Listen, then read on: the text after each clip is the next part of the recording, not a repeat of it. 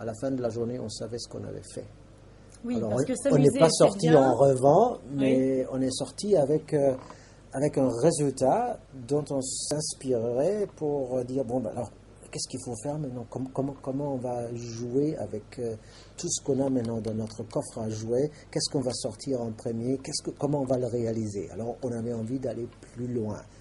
Euh, et on savait avec quoi on voulait aller plus loin. Alors, c'est pas rester un rêve euh, qu'on va jamais accomplir.